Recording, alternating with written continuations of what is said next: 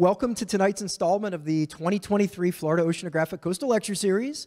For those of you who are joining us for your very first time tonight, my name is Zach Judd. I'm the Director of Education at Florida Oceanographic Society, and I am really excited to see another tremendous audience tonight.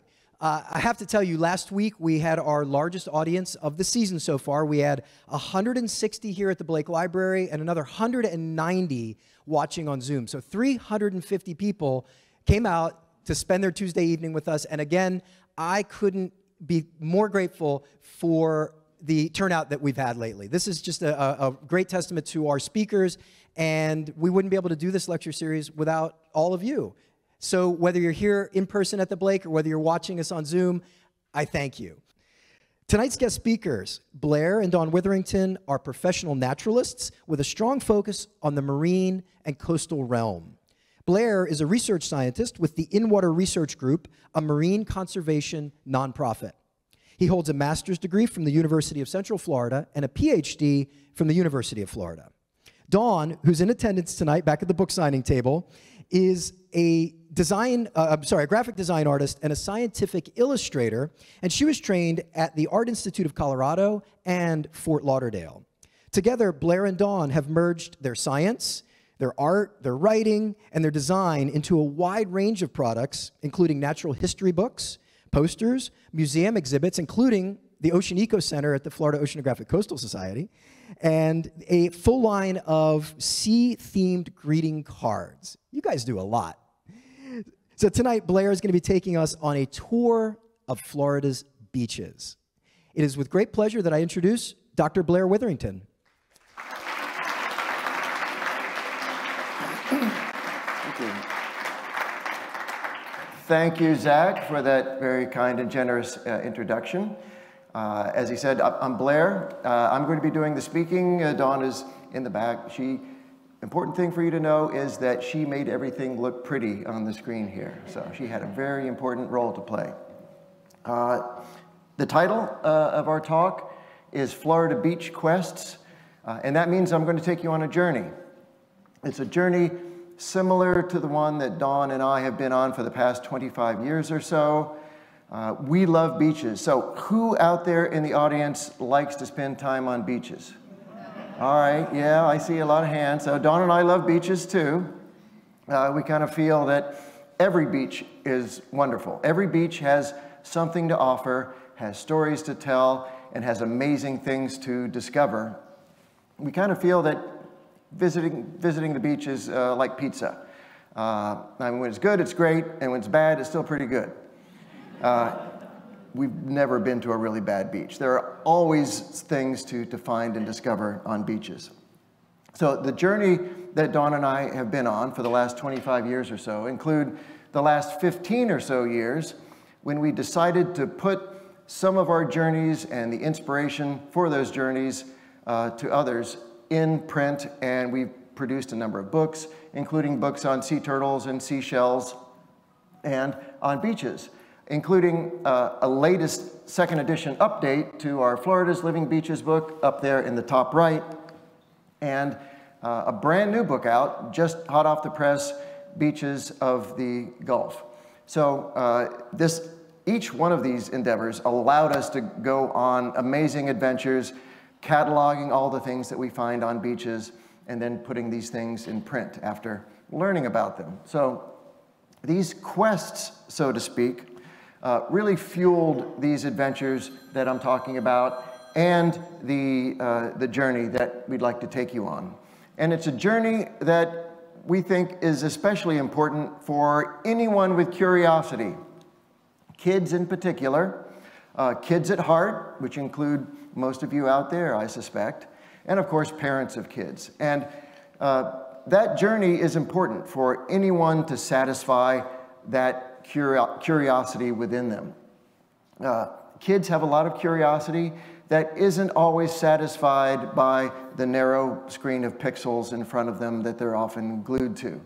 So we really like to see more kids out in nature, as anyone who loves nature would like to see. And we thoroughly uh, uh, suggest that anyone who knows kids, who has kids, who has friends with kids, get those kids out, get them dirty and sandy and wet, and experiencing nature out in the wild. Now, by the wild, you might be thinking, well, have my kids just run free uh, with all the savages and hazards out there in, in, in the open uh, wilderness? Well, yes, pretty much, uh, but it doesn't imply that all of your kids need to be running free on the African savannah. There are plenty of natural surroundings around us, and one of those really important natural surroundings that we have uh, right here near us is our beach. The beach is a very special place for kids and kids at heart to satisfy their curiosity and have adventures. Uh, the beach is a comfortable place. It's a safe place. You can run around in bare feet and pick up things, and most of those things are not going to sting you very much. Uh, so, the important thing of, about a beach is that kids love beaches, and they love running wild on beaches, and they like to uh, express their curiosity uh, on those beaches. So, why are beaches special?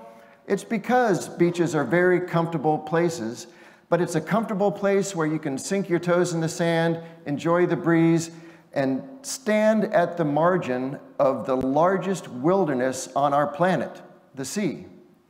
And sitting at that margin or standing at that margin, you can examine what the sea brings forth. All sorts of amazing, beguiling, and astounding creatures from the sea, many of which are living close by, some of which are living far away, all delivered right at your feet there standing uh, in comfort on the beach. So beaches are amazing places that way uh, in terms of our uh, access to wilderness. But beaches are also really special because, and this is the theme of many of our books, that beaches are alive. And I mean alive in the literal sense, in that there are so many plants and animals that live above uh, near, on, or even within the beach itself, like this line sea star just waking up at dawn, low tide, and trying to, to crawl back to the, uh, to the sea. Uh, but in addition to being alive literally, beaches are also alive in a metaphorical sense. Beaches wax and wane, they change with every tide, with every day, with every season, and between years. So beaches are extremely dynamic places that have superimposed cycles, many of which we know about, some of which we don't. And all of these cycles affect the living animals that are near, on, or within the beach.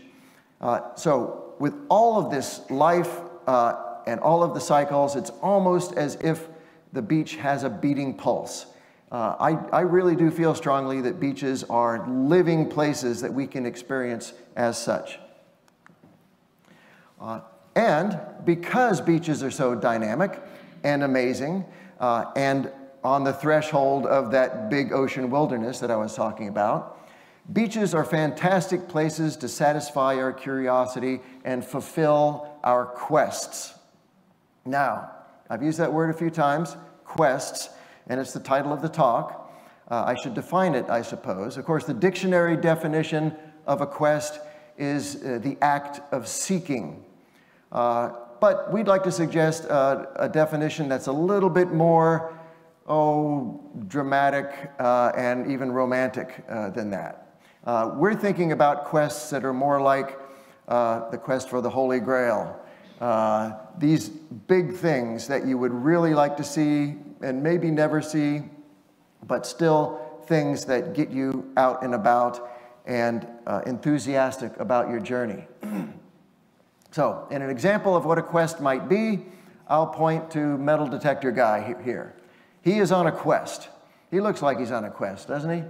So, uh, his quest, I'm going to guess, is something like Spanish silver and gold. Uh, you know, they don't call this the treasure coast for nothing.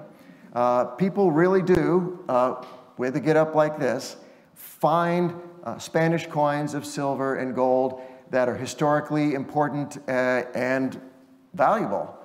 Uh, so it could be that that is his quest. What spurs him along? Now, chances are over the years he found some quarters, Uh, maybe someone's lost wedding band. Sure, interesting enough. But what does he find by the thousands in between? Probably just bottle caps. But he's on a quest. He's out in the fresh air, he is out in stunning scenery, and he has in mind that quest of someday finding that Spanish silver or gold. He's having fun, he is fulfilled. It's a good example of a quest. Uh, a good example because if that is your quest to find Spanish silver or, silver or gold, you have a chance to do that. Uh, the 1715 Spanish fleet, uh, several ships that uh, wrecked on our shoreline, uh, contained not just these cob coins that you see here on the left, uh, but also gold and jewelry, jewels, uh, crosses, a, a lot of really valuable things that tell us a lot about the really rich Spanish folks that had their treasure shipped on those boats. Uh, and it's out there. So if, if you want to seek that as your quest, you have that as an opportunity. But some people might seek things that are just simply rare and beautiful, like this queen helmet shell. There are a lot of things that we really only see every once in a while that are amazing, and because of their rarity, we like to collect them, and those things might be on our quest. But there are a good many things that people might have for their quest that you can't put in your pocket and take home and put on your shelf of curiosities. These are moments when the light is just right and the breeze is blowing and you're feeling comfortable and you see something really beautiful like a female snowy plover sitting on her eggs very calmly and you're watching her at a distance with binoculars and having an emotional moment that you check into your own memory and save for a lifetime. It's not something that you could share with anyone else except for the stories you have to tell, but a quest nonetheless. And of course, there are those eccentric folks out there who enjoy collecting all kinds of crazy things. And believe us, there are a lot of crazy things out there on the beach. And all of them have amazing stories to tell. Uh, this on the left is Dawn with a big yacht fender uh, that she really enjoyed collecting on a beach cleanup. And here I am on the right with an old teak rudder uh, from a boat that wrecked during the Prohibition era when they were running rum from the Bahamas to Florida. So everything has a story to tell, and there are a lot of amazing things out there. So these quests are going to be what outlines the, the journey I'm going to take you on tonight. And uh, what I'll present is a suggested list of quests. Now, you might have a completely different idea of things that would be on your list of quests, but I'm going to make some suggestions. Uh, and as such, I will suggest, I'm not just going to leave you hanging, uh, I'm going to give you a strategy uh, that you could follow to actually fulfill those quests. So, for example, I'll give you some places where you're likely to fulfill that quest and find that thing. Uh, of course, the, the places that I'll mention aren't the only places where you can find these things. Uh, there are a lot of places around Florida where you could also find things, but I'll suggest a hot spot for you. Season is also important. So it's not just where you go, it's when you go. Uh, and everyone knows the four seasons of Florida. Uh, there is snowbird season, there's pollen season, hurricane season, uh, tax season. No, Florida does have seasons. Uh, so all of those changes I was talking about before that take place on beaches with uh, wave amplitude and temperature uh, and wind conditions and sea state and the coming and going of sand and all of the animals and plants that are either blooming or seeding or not, these all have seasons. And so those seasons are important to follow if you want to find a particular thing that sticks to a season. Tidal cycle is also important.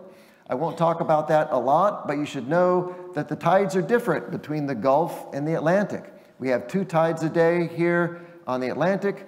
Uh, we have mixed tides in the Keys in southwest Florida, and up in the northern Gulf and the panhandle of Florida, there's really just one uh, tide per day.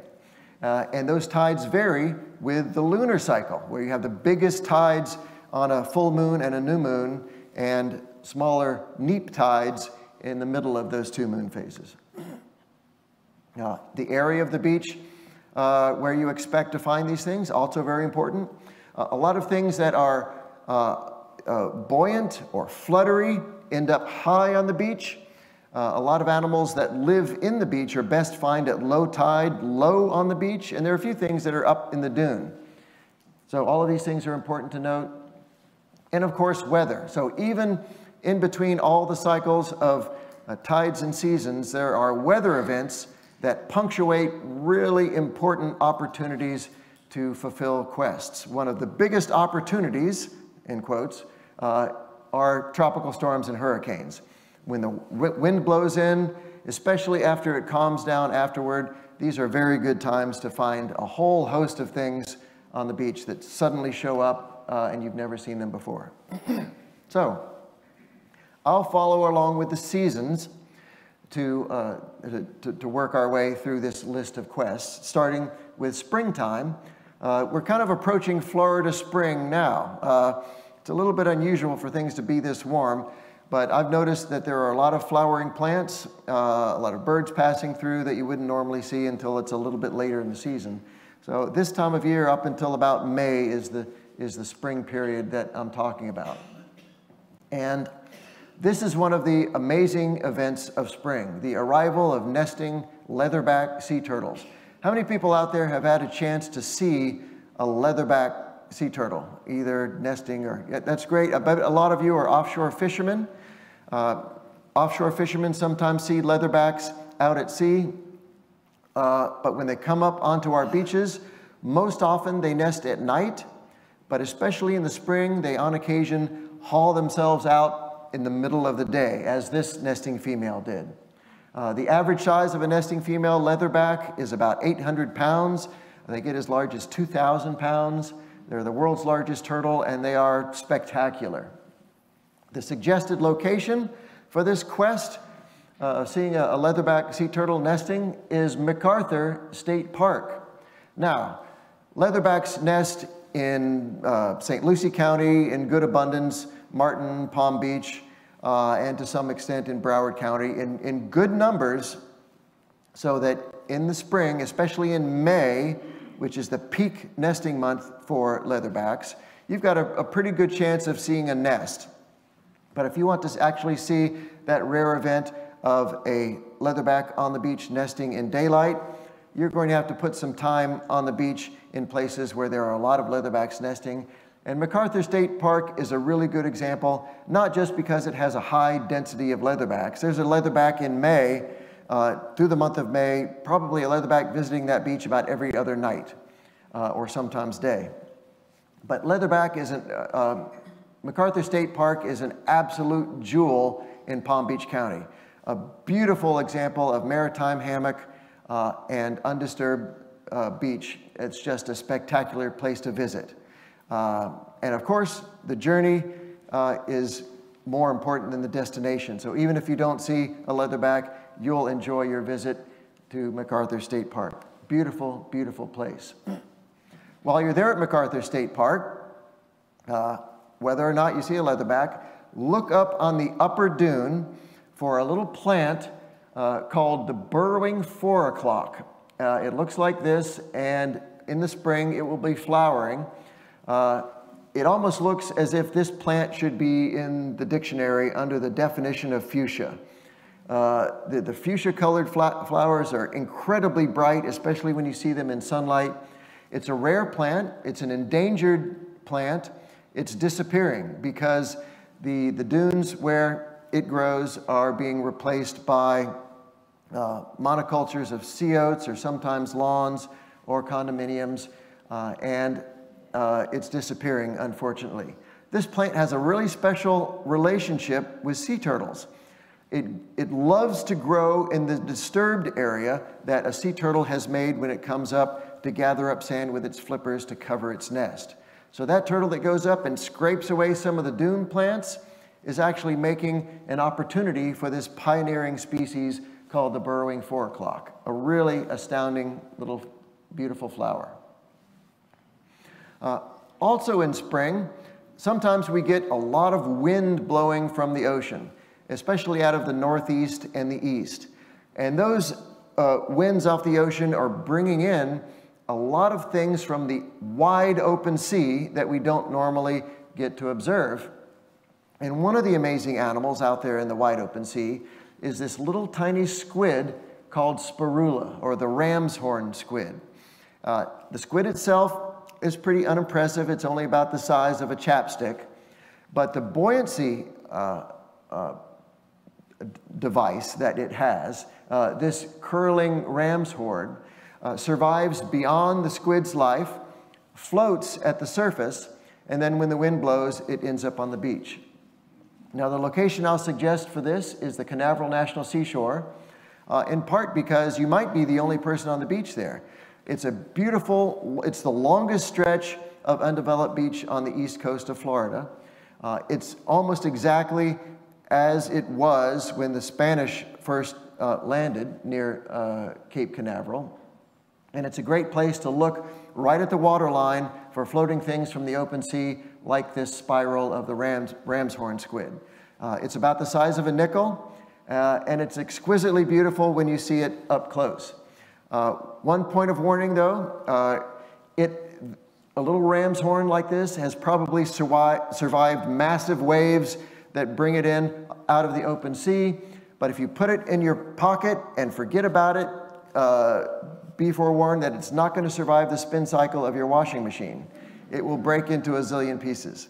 But if it survives getting home from the beach, you can put it on your shelf of curiosities and it will last for years and years and years. Uh, I already spoke a little bit about snowy plovers. Uh, they're beautiful little birds that look almost exactly like the sand that they sit on when they start to set up housekeeping right about this time of year. Uh, males and females will pair up in February and they'll be nesting on the beach, uh, bringing off chicks up until, say, July or maybe a little bit into August. If you watch them from a distance, you'll be able to see a lot of really interesting behavior and get a good look at this really beautiful bird. A great place to see them is one of uh, our favorite beaches, uh, Crooked Island, uh, up in the Florida Panhandle. It's actually a, a military uh, uh, part of a military reservation, but you can get out on the beach and walk along a very long stretch of beautiful, uh, pure white sand beach, except for a few shells up in the upper beach, and see a lot of amazing things, including snowy plovers. Now, a lot of people like to collect fossil shark teeth. Uh, and many of you who do know that the famous place to collect fossil shark teeth is Venice Beach in Sarasota County. It, it is, in fact, known as the shark tooth capital of the world, uh, but the abundance of shark's teeth sort of waxes and wanes. Uh, they'll have renourishment projects sometimes that cover up the shark's teeth, but there's a constant supply of eroding uh, 100,000 year old bay deposit that is constantly putting shark's teeth back up onto the beach. Uh, the place that I'll recommend, though, is a good bit south of there in Collier County, uh, which draws from a similar eroding bay deposit, uh, and that's Wiggins Pass State Park. Uh, it's a beautiful place to visit. Uh, you can collect a lot of other fossils in addition to shark's teeth. But if you're into catching, uh, collecting shark's teeth, you'll be able to find several different species, from uh, great whites to tiger sharks to the so-called snaggletooth sharks or sand sharks, and maybe even the, the really big megalodon teeth. Dawn and I haven't found one yet, but if you're into shark's teeth, you're probably familiar with the big megalodon tooth that uh, has a tooth about as big as your hand. Uh, the actual shark was as big as a Chinese spy balloon, uh, they tell me. big, big fish, lived a long time ago, and the teeth are amazing.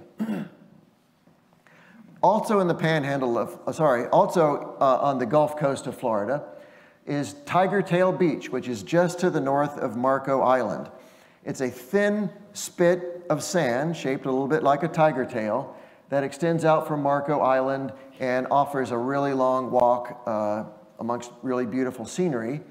And some of that scenery includes, in the springtime, least terns which are setting up housekeeping. Uh, and this is a photograph of a male least tern uh, who is offering an anchovy, uh, minus the pizza, to his new bride, the, the female, right here. And if you walk along the beach, uh, you'll be able to watch these birds from a distance and see that behavior.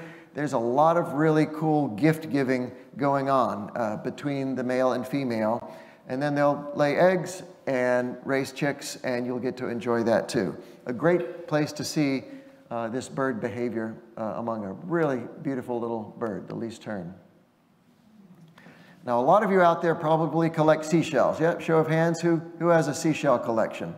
We just can't help but collect seashells. Thanks. So, uh, those of you who do have a shell collection from Florida, uh, how many of you have co collected one of these, the Junonia?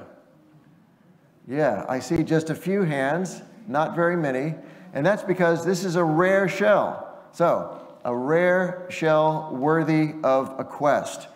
Uh, it's beautiful, of course, but the thing that really attracts people most is that it's rare. You could visit the beach a thousand times and only find one of them.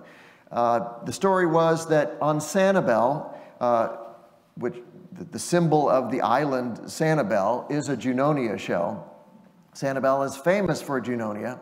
Uh, even there, the shell is rare enough so that uh, the, the story is that when someone finds one, they make the newspapers in Sanibel. Uh, of course, uh, you can go to a shell shop and you can buy one of these that uh, someone has dredged up from offshore. Uh, but that's kind of like buying the wallet and keeping the photographs of the nice, pretty people that are already in it. And it's, it's, it's not the same. It won't have a story connected to it the same way that your Junonia will. Uh, the Junonia on the right, uh, Dawn found while we were at this place, Cape Romano, which is where I suggest you go to find a Junonia. Now, it's to the south of Marco Island. Uh, it's a, a beautiful little cape of land that's a wildlife refuge. You have to get there by boat, but it is shell heaven. Uh, in addition to being shell heaven, you can find uh, a, a, Junonia there uh, if you look really hard. Dawn did a little dance when she found this one. And of course, we have a nice story to tell about it. Now we're into the summer season. And in summer, the, the ocean calms down. Uh, a lot of the turmoil of winter and spring with uh, heavy waves coming in off of the ocean has settled. And when the waves settle on many beaches, including uh, Stuart Beach and Jensen Beach and farther to the north, you'll see these areas of shell hash forming, where lots of different worn pieces of shell are all assembled by the ocean in one location. These are the places where you look for this quest item, and that is sea glass.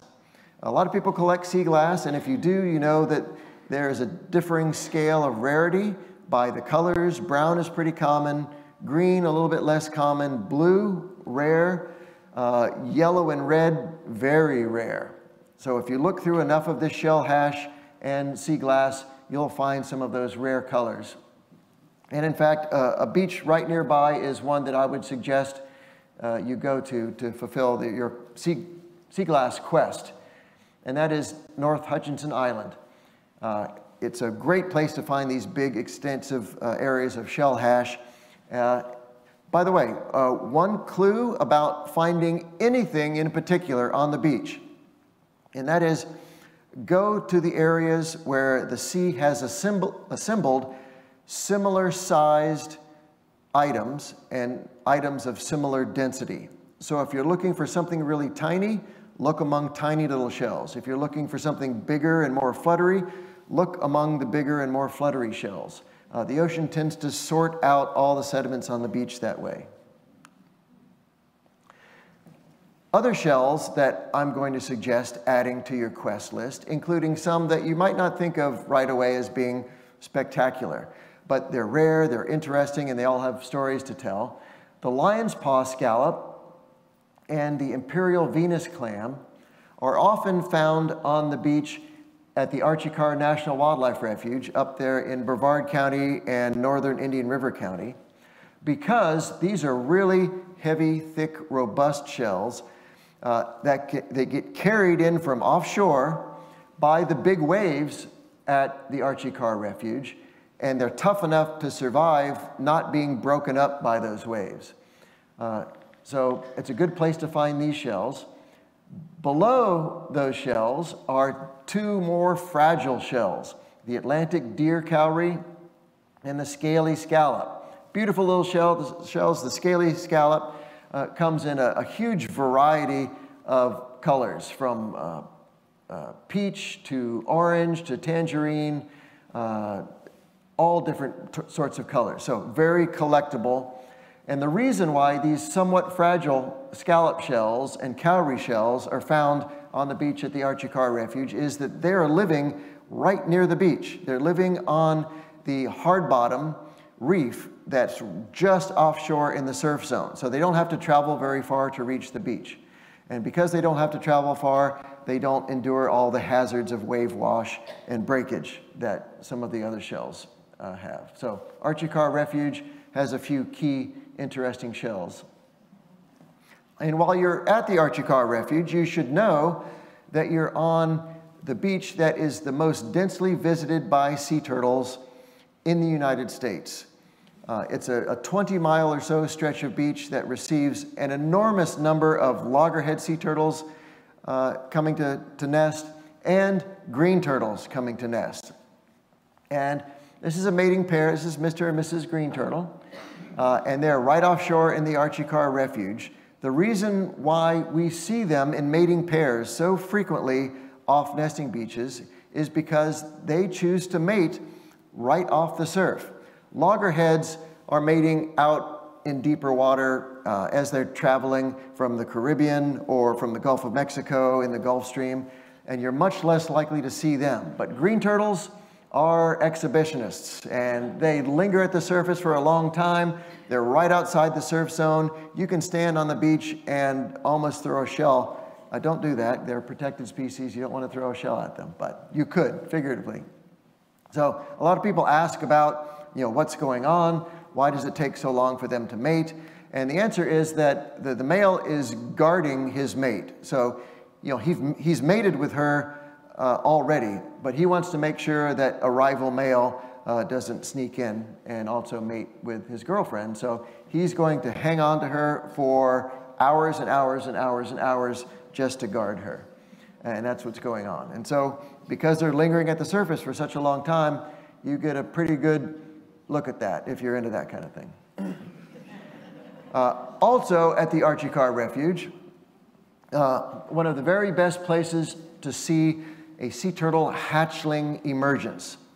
Now, as common as nesting is along the east coast of Florida, especially at the Archie Carr Refuge, you would think, well, there are hatchlings emerging all the time. And there are, but their peak emergence time is in the middle of the night. And it's dark in the middle of the night, and it's hard to see when it's dark. So they're getting from their nest up at the base of the dune to the ocean really quickly, and they're doing it at night, and you're unlikely to be able to see them. However, I've got a suggestion for you. Uh, Archie Carr National Wildlife Refuge, the Brevard County stretch, probably the most densely nested stretch. Uh, your strategy would be to go out very first thing uh, right before sunup, uh, or out uh, near dusk, maybe just a little bit after the sun went down. So you're in the twilight period where there's enough light where you can see things pretty well, and hatchlings will be emerging. So if you can remember this, go out at dawn when it was really dry and hot the day before. Uh, go out at dusk when it was rainy or cool that day. And the reason is it's temperature that prompts the hatchlings to emerge. And on a dry, hot day, it takes a lot longer for that sand to cool down. So it's going to be morning by the time a lot of the hatchlings are coming up, and you have a much better time to see them. But especially with an afternoon rainstorm, that sand is cooling down really quick, and you'll see some of these hatchlings emerging right near dusk. While you're there at the Archie Carr Refuge, especially the, uh, the, the, southern part in Indian River County, uh, you can see little juvenile green turtles. They're uh, about uh, the size of a bread box or bigger. They're there on the nearshore reefs that are being colonized by uh, polychaete worms uh, and algae. And the green turtles are there to feed on the algae. And a lot of these reefs are right where the waves are breaking. In summertime, when it's calm, the water will clear up, and you, you can actually see these turtles swimming around. In addition to the southern end of the Carr Refuge, uh, right here at Bathtub Beach or Blowing Rocks farther south, also good places to see little green turtles on the nearshore reefs uh, nibbling on algae. So one of the uh, quest items that Dawn and I had on our list was to see really spectacular dune scenery. And there's no dune scenery more spectacular than that in the panhandle of Florida, where the sands are completely 100% crystalline quartz, and all of that bright white quartz sand has been piled up by big tumultuous events into 50 foot high dunes crested with sea oats and, and other plants. Really spectacular scenery, and one of the best places to see this still is St. Joseph Peninsula State Park. A beautiful, beautiful state park. They were hit hard by Hurricane Michael. I think it was in 2018. Uh, uh, you can't camp there anymore, but you can still walk for miles and miles down the beach and see some of this really spectacular scenery. Now we're into the autumn of the year. Uh, it, it's not really cooling down very much, but a lot of the organisms that you might like to see are starting to adjust to uh, the, the coming winter and sea conditions. But also in autumn, uh, the wind begins to blow off the ocean again. Uh, and that wind starts to intercept some travelers from much farther south. And some of those travelers that uh, many people might have on their shelves and that collect and are on your quest list include sea beans. Now, I could talk forever about sea beans. Uh, we do sometimes. Dawn and I go to a sea bean symposium where a whole bunch of people meet, and you can imagine how crazily eccentric these people are, where they're, they're meeting for days and talking about sea beans. But it shows you how cool these things are. They're not just cool because they're beautiful. They're cool because they have amazing stories to tell. All of the species that I'm showing you here, uh, hamburger beans of genus Mucuna, there are several species, sea purses, uh, the sea heart, or the Mary's bean, all of them grow far away in tropical rainforests. And the reason why we see them on our beaches, like the beaches of Jupiter Island, uh, which I'll suggest for this quest, the reason why we see them is because they float, uh, they've traveled down tropical rivers, eventually entered the sea, uh, traveled by currents through the, the, the Florida Straits by the Florida Current, and when all the conditions are just right and the timing is critical, that wind uh, and current blows these beans out of the Florida current onto our beaches and at our feet. Uh, so they all have amazing stories, but they're beautiful. People polish them, make them into jewelry, and, and they're good luck. So what's better than that? also being blown out uh, of these currents crazy eccentric things uh, that people collect sometimes, not to say that we're that type, but we do have a big uh, collection of what we call sea heroes. Now, these are children's toys that have made a sea voyage. And many of them have barnacles, and you can, they've got sun fading, and you can tell that they've been traveling for a really long time. And they're also things that you don't see sold in toy stores much around here anymore. They've probably fallen out of favor with sophisticated American kids. Uh, but in tropical America, uh, perhaps in the Caribbean, there are a lot of these things still being played with and perhaps lost or maybe set adrift on an adventure by a, by a child. So all kinds of crazy things from astronauts, cowboys and Indians, Batman, cheap knockoff Mickey Mouse, uh, lots of amazing things. And if you're looking for a really eccentric hobby, look no further than collecting sea heroes. Now, I talked a little bit about the fall and the fall setting up a, lot of things uh, that are preceding the, the windy and cold season of winter. One of the things that precedes the windy and cold season uh, is the migration of a lot of different fishes, including mullet. Uh, uh this is the fall mullet run. Uh, for any of you who are fishermen, know that this is a famous time to get out and, and catch fish because there are a lot of predatory fish following these fingerling mullet. And I don't know if you can see right above the wave, the shadow in the back, that's a tarpon that's jumping up uh, amongst these mullet that are exploding like fireworks.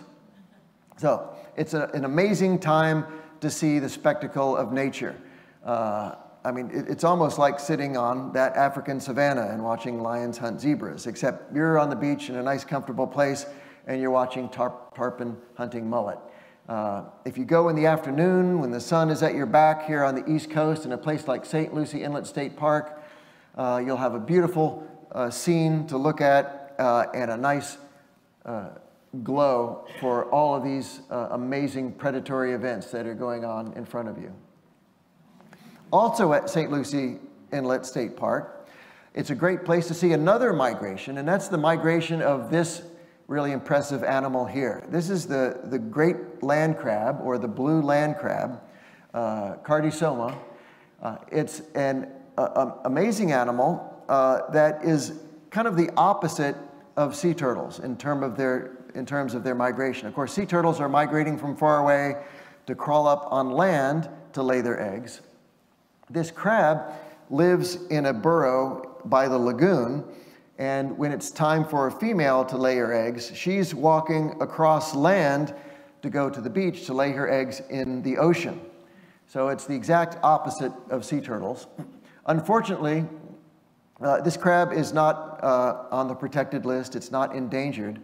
Uh, but I like to include it in the list of what should be endangered phenomena.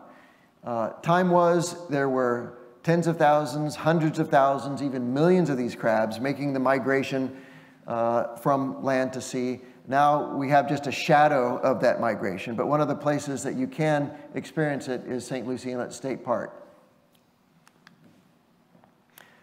Speaking of crabs, uh, these are stone crabs or crab stones. So not stone crabs in the sense of, you know, eating the claws. These are crabs that have gotten stoned.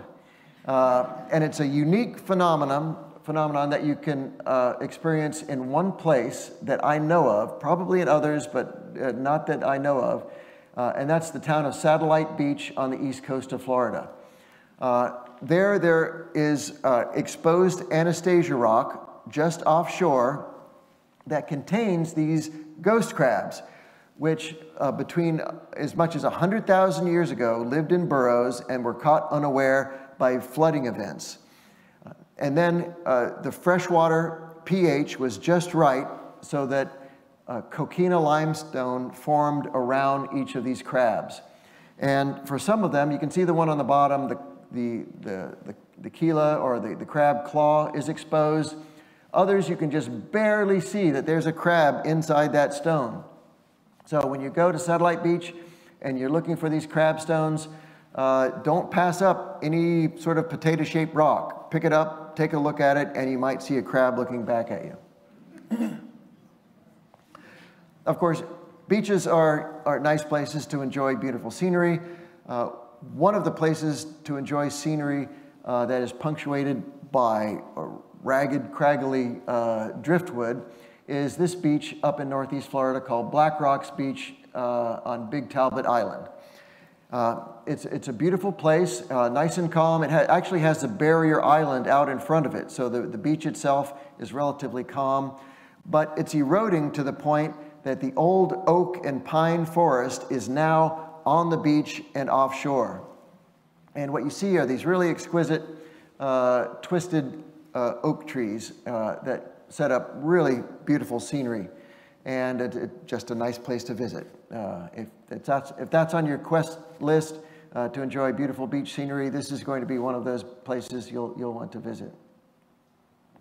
Now, easing into the winter uh, part of the year, uh, the wind is going to be blowing. Now, I've spoken a lot about wind blowing off the sea, and when the wind blows from the east here on the east coast, that's a great place to find some of these really strange blue water uh, animals that you would never see otherwise.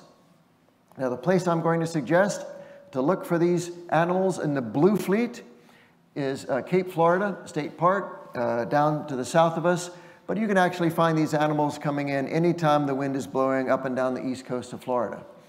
These are amazing animals. So these particular members of the blue fleet here, the blue button, the Portuguese man-o-war, and the by-the-wind sailor, uh, these are very distantly related to jellyfish. They're not jellyfish, they're actually hydroids. In fact, they're not just a hydroid animal. They are colonies of hydroids. So each one of these individual colonies is made up of many, many different animals that all uh, exist together in these floating uh, little colonies. So uh, the amazing thing about these, especially the by-the-wind sailor and the Portuguese man-o-war, is that they depend on the wind to distribute them. They actually sail. Uh, to the point that there are right-handed versions of these animals that sail to the right. There are left-handed versions that sail to the left. And when you collect these, see if you uh, can see that all of the animals you collect are all left-handed or all right-handed because they typically sail together in a fleet and all the ones that are sailing the same direction end up on the beach at the same time. Along uh, with these other, with these uh, hydroid colonies that end up the, on the beach, are some gastropods that are really cool, that only live out in the wide open deep blue sea. Uh, one gastropod is this snail, uh, the common purple sea snail. A beautiful purple colored snail, more purple on the bottom than it is uh, at the top, floats underneath a little raft of mucus bubbles, and that's its existence. Uh, also at the surface of the deep blue sea is this really cool sea slug, uh, so they're related to snails, but they're snails without a shell. Uh, a sea slug called the blue glaucus, or sometimes called the blue sea dragon. Uh, now don't be scared, they aren't that big. They're only about the size of a pea when you find them on the beach. Uh, but if you find a little blue pea on the beach, put it in a little seashell filled with water and it will blossom out into its really beautiful form that you see here on the, the bottom right. So, really cool thing about these two animals, uh, the purple sea snail and the blue glaucus, they eat these guys. Uh, in fact, they eat the tentacles of these guys. Uh, and it's even cooler than that. So these guys have stinging tentacles. In fact, Portuguese man-o-war, super famous for being toxic.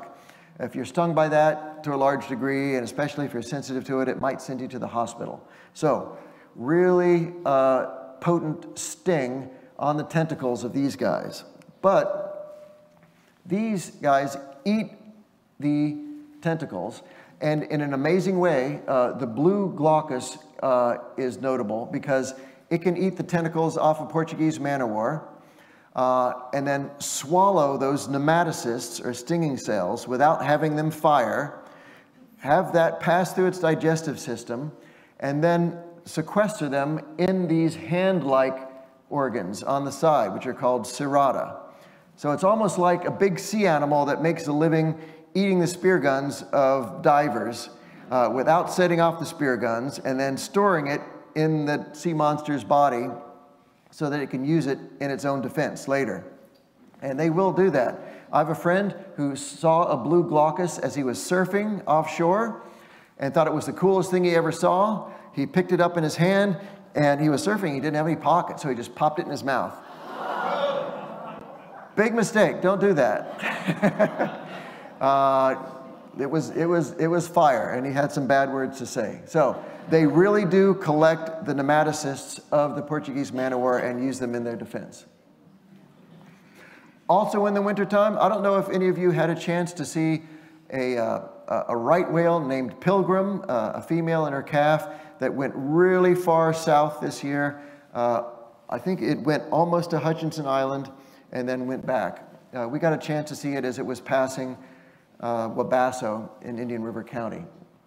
So winter is the time to see right whales, not quite this far south, but up in northeast Florida, uh, you'll have a better chance because their principal calving grounds are in the Georgia Bight, roughly uh, off of Cumberland Island, but including Jacksonville, but very frequently they'll get down to Cape Canaveral and even farther south. I'll suggest Little Talbot Island as a place to see right whales uh, because it's near that calving ground. but also because it's a state park. And state parks have very friendly rangers that you can talk to, and they'll share with you any information they have on uh, right whales that happen to be passing through.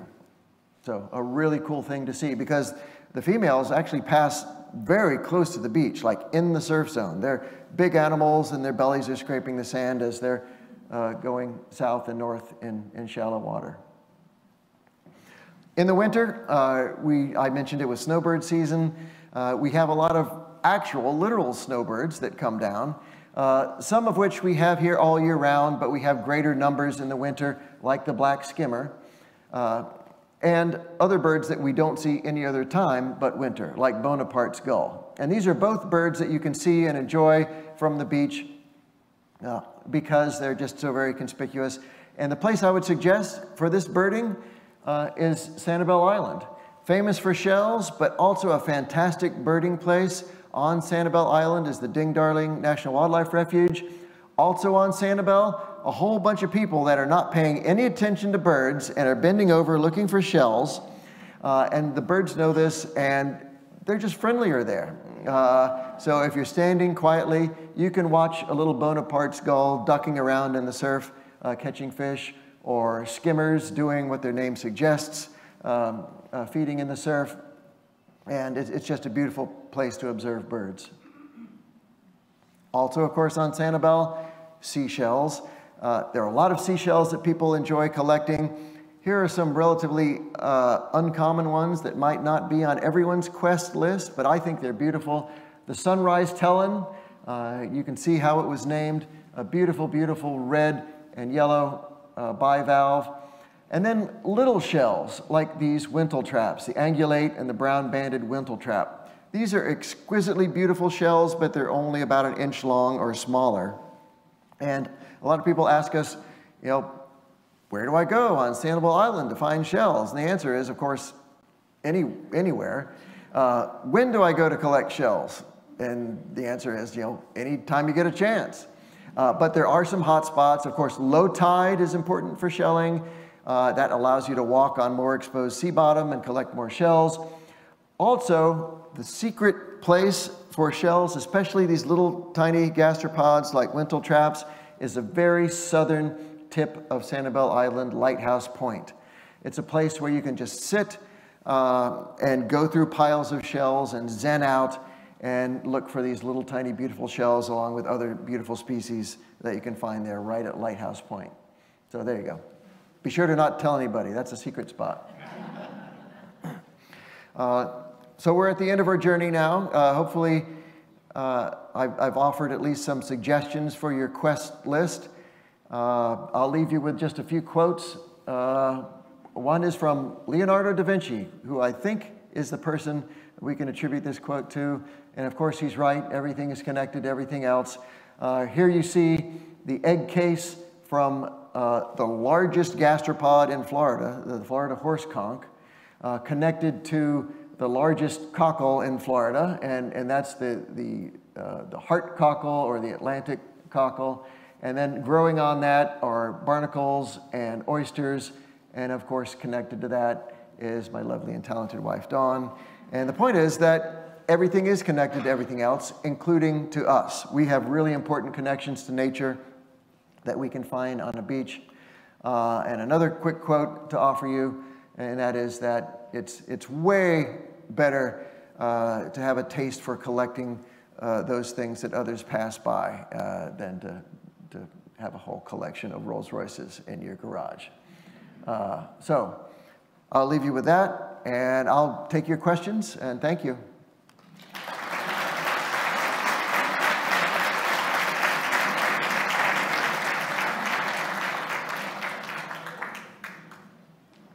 Yes, sir. The uh, Shell Museum on Sanibel, how did it fare for the uh, hurricane? Is it still there?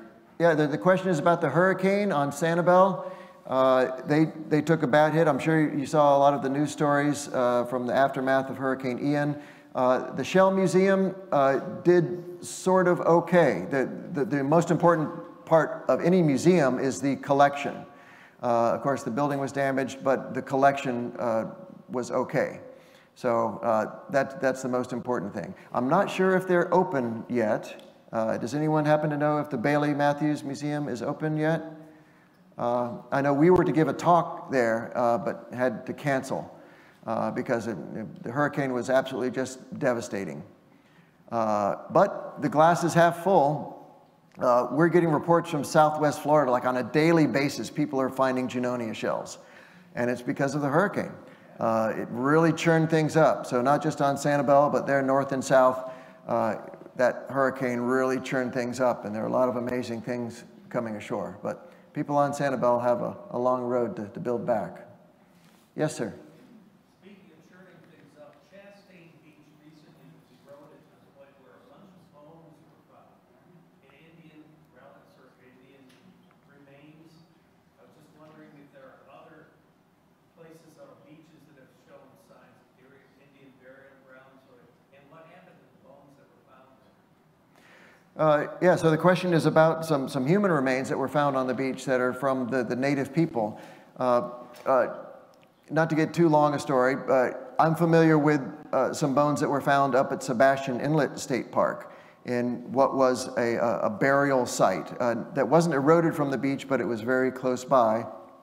So up there were the Ais people uh, who lived as far south as probably Hutchinson Island they, they didn't live on the island. you can imagine being on the island in summertime with all the mosquitoes that were here preceding uh, the mosquito impoundments. It was pretty brutal, and the, the native people weren't crazy. Uh, they were on the barrier island in the winter, but they would migrate back to the mainland uh, during the summer. Uh, there were a whole series of people who lived along the coast uh, almost none of which are represented in our human population now. Unfortunately, they, they all went away. The, the Seminoles and the Miccosukee that we're familiar with were, were Creek people that came down from Oklahoma uh, and, and now are the Native uh, Americans here in Florida. Uh, but those people represented by the bones you're talking about uh, may not be represented in the human population at all anymore, which is, which is pretty tragic, but uh, kind of an amazing thing to, to think about in terms of what life was like for those people in Florida all those many years ago. Yes, ma'am. Sea beans that you were showing, are they plantable? When will they grow? Aha, great question. So uh, the question is about the sea beans. Can we plant them and can they grow? Uh, long story, sometimes they'll grow. Sometimes you'll see them if it's a really rainy summer they'll soak up water on the beach and they'll actually sprout. But they're tropical plants and they can't take any cold weather at all. So even down into the 50s will kill them. But uh, they're vines. So most of them are woody vines. Uh, those that I showed you, the uh, hamburger beans, the sea hearts, uh, the uh, sea purses, uh, those are all woody vines that grow up in the canopy of the tropical rainforest. And just a really quick story I have a friend who collects sea beans and is actually a world expert on sea beans. Uh, he was very interested in doing just what you suggested, and that is planting these seeds and seeing if they will grow. And uh, he did, and on occasion would have success. And boy, talk about Jack and the Beanstalk. Uh, he had some examples of this thing just going crazy and out of control and growing up the trees in his yard. But like I said, they don't make it through a normal winter and they die, which is why we don't have them here in Florida growing as a plant and flowering, producing seeds. Can I do one more? Yes. I have a good friend that has two shell stores on Sanibel. And I just talked with this past weekend and they got one, one outlet of electricity, so I doubt if anything's open yet. I mean, the electricity's just coming back. Yeah. So the comment is about life on Sanibel now. Thing, things are just barely coming back with, with uh, not much electricity. We have, a, we have a question from one of our Zoom attendees. Uh, they're wondering how is it possible that there's only one tide per day in the Florida Panhandle? Aha! uh, I'll, I'll, try not to make this a long story. so, uh, probably a lot of you know about how tides are influenced by the sun and the moon. Um, it's the sun and the moon uh, and the turning of the planet that gives us tides on the Atlantic coast. And those pulls and tugs of gravity from the moon, uh, the moon and the sun, drive two tides a day on the Atlantic. But in the Gulf of Mexico, uh, the tides are really different. Tides in the, the Gulf of Mexico are almost like a drum pulsating, with a high in the middle of the Gulf and a low in the middle of the Gulf. Uh, so that when it's low in the middle of the Gulf, it's high on the perimeter, and when it's uh, high uh, in the middle of the Gulf, it's low on the perimeter. And what that means is that those Gulf tides are more and more independent of the Atlantic tides. It also means that high tide in, say, Pensacola is the same time as high tide uh, at the southern tip of Texas. Oops. Uh, so tides are crazy things, and it gets way more complicated from there. Yes. We'll take another one from our online audience. How do you think climate change will alter the dispersion of many of the organisms that you talked about tonight? Uh, profoundly. So uh, I, I spoke a lot about seasons and temperature tolerances, the wind blowing, uh, catastrophic events like storms and hurricanes. Uh, by the way, these catastrophes are also opportunity events for a lot of organisms. But uh, a good many of the organisms I talked about are adapted to predictable cycles, like hurricane season starts about now and ends about then. Uh, I can bank on the temperature in the wintertime being in this range. Uh, when that starts to become less predictable and changing, we start to see changes in the distribution of animals when they express behaviors. Sometimes they can't adapt if all of that climate happens very quickly uh, and they get into trouble in terms of uh, lowering population numbers, or they'll shift, they'll change in their distribution. Uh, one of the most profound effects we see from climate change is the distribution of animals that used to be only in the south, creeping farther and farther and farther north.